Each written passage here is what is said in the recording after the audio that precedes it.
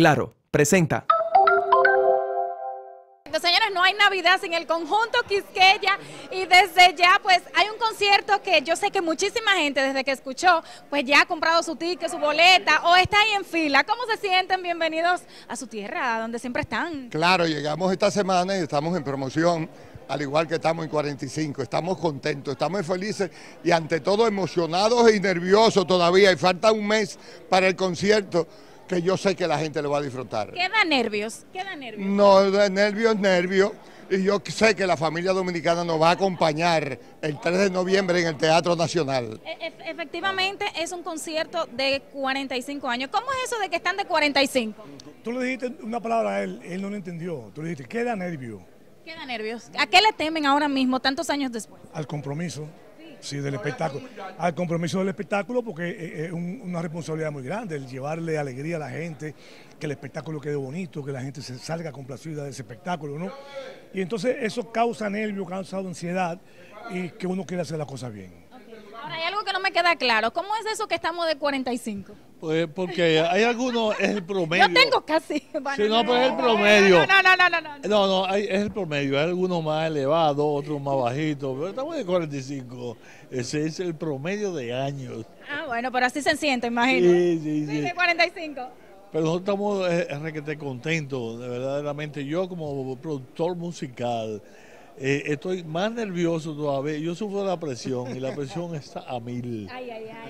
¿Cómo se prepara un espectáculo tan grande como este cuando se tiene toda una cartelera tan amplia? A ver, ¿qué bueno, eh, hay un equipo de trabajo. Tenemos un equipo de trabajo, tenemos la capacidad, ya la experiencia de, de este tipo de espectáculo, no a este nivel, pero ya hemos estado en varios sitios. Yo creo que eso nos va a servir de algo, pero los nervios nos tienen como si fuéramos bebés.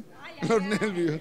¿El Teatro Nacional es la primera vez en Por este primera vez, es el orgullo que tenemos. Cuando Amable Valenzuela, nuestro productor amable, nos dijo en, en la gira de diciembre, señores, hay que ir al Teatro Nacional. El conjunto Quisqueya no ha ido al Teatro Nacional hay que hacer un concierto en el Teatro Nacional. Y nosotros todos levantamos la mano y dijimos que sí, para allá vamos, para la sala principal del Teatro Nacional. El día 3. El 3 de noviembre.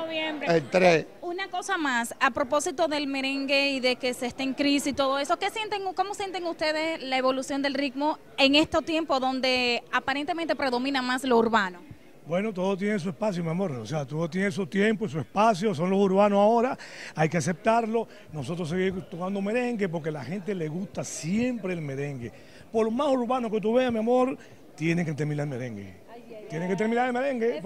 No hay fiesta sin merengue. esa es la debilidad del dominicano indiscutiblemente. Muchísimas gracias, caballero. Una fiesta de apaga y vámonos, de que yo sé que la gente va a disfrutar Cariño, cariño para ti. Recuerden, el 3 de noviembre, en el Teatro Nacional, en la sala principal, con el mismito sabor del conjunto Quisqueya. Con ese coro. Gracias, seguimos con más.